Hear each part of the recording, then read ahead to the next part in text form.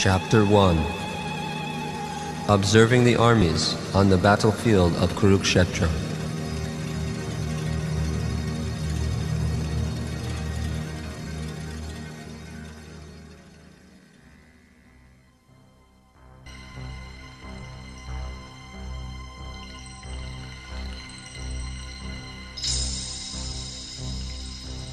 O Sanjay, what is happening with my sons and the sons of Pandu since they assembled at Kurukshetra for battle? Maharaj, after looking over the Pandavas' military formation, your son approached Dronacharya and began to speak. Acharya, behold the vast Pandava army, so expertly arranged by your intelligent disciple, the son of Drupad. In this army are many heroic bowmen equal to Bhima and Arjun. Great fighters like Yuyudhan, Virat, and Drupad. There are also powerful fighters like Drishtaketu, Chekitan, Kashiraj, Purujit, Kuntibhoj, and Shaibya. Look, there is Yudhamanyu, the powerful Uttamaja, the son of Subhadra, and the sons of Draupadi. All these warriors are powerful chariot fighters. But for your information, O best of the Brahmanas, let me tell you about the warriors who are especially qualified to lead my armies. They are personalities like your good self, Bhishma, Karna, Kripa, Ashwatthama, Vikarna, and Bhurishrava. They are always victorious in battle. And there are many other heroes who are prepared to lay down their lives for my sake. All of them are well equipped with many weapons, and all are experienced in military science. Our strength is immeasurable. We are perfectly protected by grandfather Bhishma, but the strength of the Pandavas is limited. Everyone must now give full support to Bhishma while standing at our strategic points of entrance into the phalanx of the army.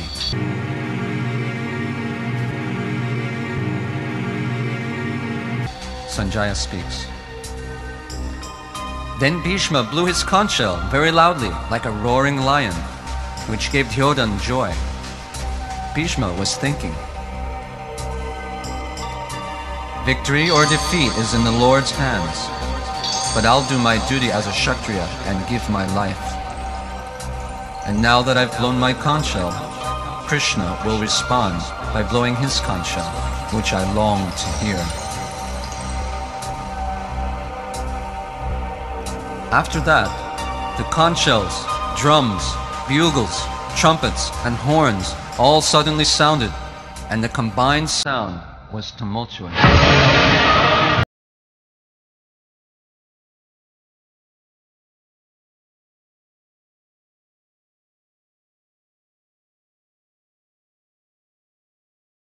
Both Krishna and Arjun, stationed on a great chariot drawn by white horses, sounded their transcendental conch shells. Krishna blew his conch shell, called Panchajanya. Arjuna blew his, the Devadatta, and Bhima blew his terrific conch shell, called Poundra. King Yudhisthira blew his conch shell, the Ananta Vijay. Nakul and Sahadev blew the Sukosha and Mani Pushpaka. That great archer, the king of Kasi, the great fighter Shikhandi, Drishtadyumna, Virat, the unconquerable Satyaki, Drupad, the sons of Draupadi, and the others all blew their respective conch shells. The blowing of these conch shells became uproarious, vibrating both in the sky and on the earth. It shattered the hearts of your sons.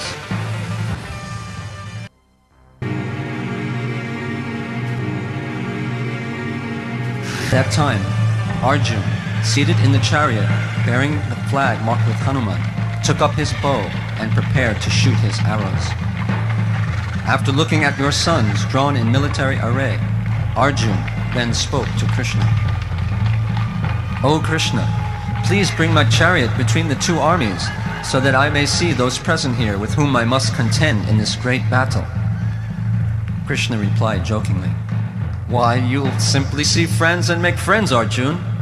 No, Krishna, I want to see those who have come here to fight, wishing to please that evil minded son of Dhritarashtra. Sanjaya speaks. Hey, Rajan. Having been addressed by Arjun, Krishna drew up their chariot in the midst of both armies. In the presence of all the great warriors of the world, and directly facing Bhishma and Drona, Krishna said, Just behold, Partha, all the Kurus assembled here.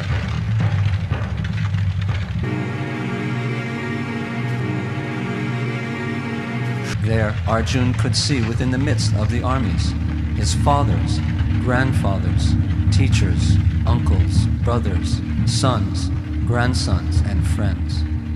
When Arjun saw all these different friends and relatives, he became overwhelmed with compassion. Oh Krishna, seeing my friends and relatives present before me in such a fighting spirit, I feel my body quivering. My mouth is drying up.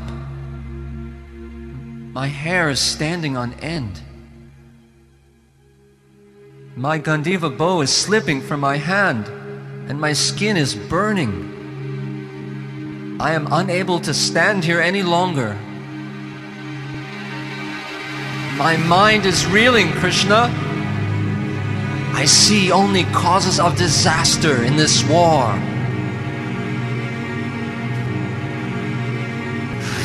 But you'll get a kingdom, Arjun. I do not want a kingdom. Nor can I see how any good can come from killing my own kinsmen in this battle. Hey, Govinda. Why should I think of getting a kingdom? What is the use of a kingdom, happiness, or even life itself in the absence of those we want to enjoy them with? O Oh, Madhusudan, when my grandfather, teachers, and other relatives are ready to give up their lives and are standing before me, why should I wish to kill them, even though they might kill me? So do not kill your elders, Partha, but at least kill the sons of Dhritarashtra. No! What happiness will I get from that? I might enjoy the kingdom for a short time, but I'll suffer so long for having killed them. Sin will overcome me if I slay my relatives. I'll not get happiness. But they are aggressors, Arjun. There's no sin for killing aggressors. Certainly there is sin, Krishna. Why are you so sure, Arjun, when Shastra says the opposite? Artha Shastra says there's no sin, Krishna, but Dharma Shastra is higher. And Dharma Shastra says that there is sin from killing aggressors. You do not know the truth, Arjun. I know the results that will come, Krishna, especially for the destruction of the dynasty. Oh, Krishna, why shouldn't we refrain from fighting? Why aren't Bhishma and Drona refraining, Arjun? They also know these things. Their hearts are overtaken by greed, Krishna, but we know. Why should we act like them? A Kshatriya's duty is to fight when challenged, Arjun. Yes, Vasudev, but I see the imminent result of family destruction. With the destruction of dynasty, the family tradition is lost, and the rest of the family becomes irreligious. When irreligion is prominent in the family, the women of the family become polluted, and from the degradation of womanhood comes unwanted progeny. Oh, Krishna, I have heard from authorities that those who destroy family traditions go to hell. How strange it is that we are preparing to commit such great sins, driven by the desire to enjoy royal happiness. I deserve to be killed unarmed on the battlefield for even considering killing my own kinsmen.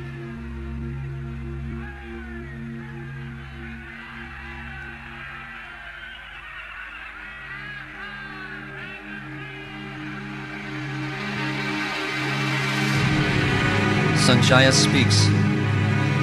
Then Arjun cast aside his bow and arrows and sat down on the chariot, overwhelmed with grief. Seeing Arjun full of compassion, depressed, and crying, Krishna began to speak.